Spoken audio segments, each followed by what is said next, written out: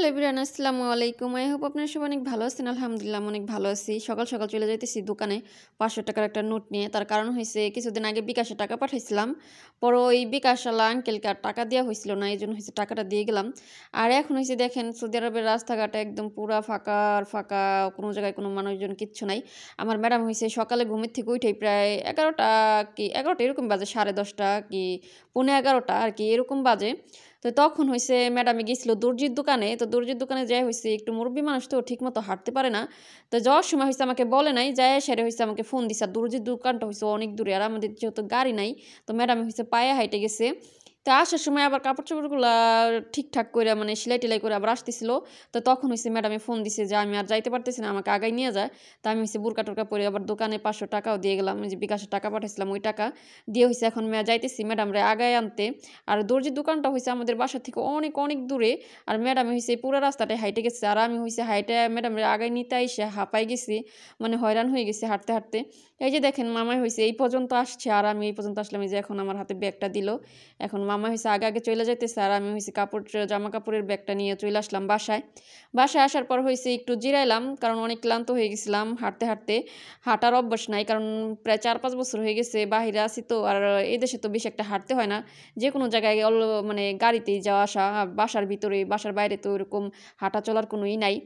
তো একটু ক্লান্ত হয়ে গেছিলাম, একটু জিরাই টেরাই পরে হয়েছে ম্যাডামের জন্য রান্না বসালাম, এই জায়গায় রান্না করব হয়েছে বিচুলি বলে আরবিতে, আর বাংলাদেশে হয়েছে যে বুট, কাঁচা বুট, ডাবরি যেটাই বলেন, তো ওইগুলা ওইগুলা দিয়ে হয়েছে তরকারি রান্না করব। এই জায়গায় হয়েছে আগের থেকে পিএস মরিচ কষাইছি, কষানোর পর হয়েছে যে বুটগুলা দিয়ে দিলাম, দেওয়ার পরে এখন হয়েছে পানি দেই নেই। পানি দিব হয়েছে একটু পরে তো দিছি মনে হয় হ্যাঁ নাড়াচাড়া দিয়ে পানি দিয়ে দিলাম, দেওয়ার পর হয়েছে আবার এই জায়গায় এক মগ চাইলের ভাত রান্না করতেছিলাম, যেহেতু আমার ম্যাডামে একা খাবে সেজন্য। তো এই যে দেখেন, পানি দেওয়ার পরে পানি দিই নেই আর কি মাংস সেদ্ধ করে ঝোল রাখছিলাম ফ্রিজে, সেই ঝোলটাই দিয়ে দিলাম। আর আজকে হয়েছে মাংস টাংস কিছু রান্না করি নেই, এই যে বিচুলি দিয়ে তরকারি রান্না করছি আর ভাত, আর হয়েছে সালাদ। তো মা, ম্যাডামকে হয়েছে খাইতে টাইতে দিয়ে সে এই জায়গায় যে জায়গায় আমাদের রান্নাঘরে বেসিনে হয়েছে আগে যে যে, ছোট্ট কলটা লাগানো ছিল মানে এটা হয়েছে আর্সেনিক মুক্ত কল আর কি মানে এটা থেকে পানি বেরোয় আর্সেনিক মুক্ত পানি। তো এটা হয়েছে কলটা নষ্ট হয়ে গেছিল, পরে আজকে হয়েছে আবার নতুন একটা কল লাগাইছে, আর আজকে এটা অনেক সুন্দর লাগতেছে। আর ওই যে, ওইটা হয়েছে ফিল্টার, ফিল্টারের সাথে আর কি এটা। আর ওই যে, নিচে ও পরিষ্কার করে ওই যে, ওগুলো বের করে ফেলছে যে যেগুলো লম্বা লম্বা এগুলো কী যেন, এগুলোর জন্যই মনে হয় পানি আর্সেনিক মুক্ত হয়।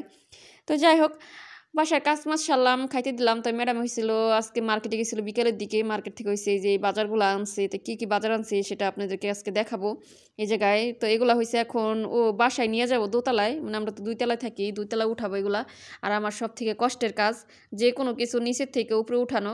তো আজকে হয়েছে বেশি বড় কোনো ব্লগ করি নেই, ছোট একটা ব্লগ করলাম, কয়েকদিন ধরে ভিডিও ঠিক মতো দেওয়া হইতেছে না, কারণ কাজ কামের জন্য সময় পাইতেছি না, আর ফোনটা হয়েছে একা একা রাইখেও মন কাজ মানে ভিডিও করা যায় না ভাবছি, ভাবতেছি আর কি যে ফোন রাখার জন্য একটা স্ট্যান্ড কিনবো।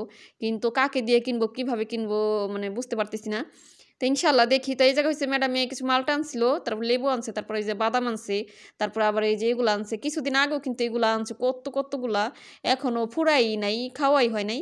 তা আবার আজকেও নিয়ে আসছে জায়গায় হয়েছে বাদাম ছোলা, তারপরে কয়েক রকমের বাদাম ছোলা, তারপরে যে কদমার মতো ছোট ছোট মিষ্টি ওগুলা।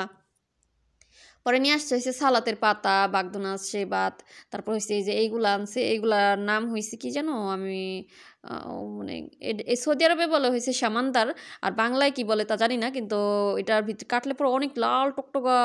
আর হয়েছে এটা দিয়ে সালাতও খাওয়া যায় শরবতও খাওয়া যায়, অনেক ভালো উপকারী একটা জিনিস।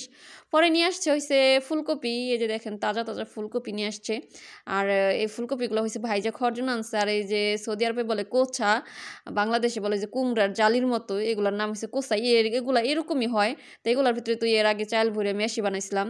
তো ওইগুলো নিয়ে আসছে, এক কার্টুন টমেটো আনছে, আর বড় এক ব্যাগ গাজর নিয়ে আসছে। আর এই টমেটোটা হয়েছে বেশি পাকা ছিল, তো গাজর গাজরের চাপে হয়েছে ফাইটে গেছে। এই যে দেখেন কত সুন্দর টাটকা টাটকা ই নিয়ে আসছে, কোসা নিয়ে আসছে আর কি, এগুলা দিয়ে, যেগুলা বড় বড় ওইগুলা দিয়ে হয়েছে তরকারি রান্না করে দিব ম্যাডামের আর যেগুলো ছোট ছিল, ছোট আছে ওইগুলাতে হয়তো বা মেশি বানায় খাওয়াবো ম্যাডামকে। আর এই জায়গায় হয়েছে মালটাগুলা দেখেন অনেক ফ্রেশ ছিল। তো এগুলো হয়েছে একটা ঝুড়ির ভিতরে রাখলাম। তো আজকের ব্লগটা এই পর্যন্ত দেখাবে নেক্সট ব্লগে ধন্যবাদ।